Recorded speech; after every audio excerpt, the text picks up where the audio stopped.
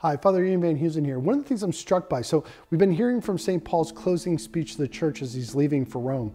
He doesn't coddle people. He says, you know what? You have a trials ahead. I am preparing you for battle. He doesn't quite say it that way, but that's the reality of it. He's preparing them for persecution and suffering. Guys, don't coddle your children. Don't coddle those around you. Of course, we can be loving and supporting, but we ultimately have to challenge people to grow. Amen?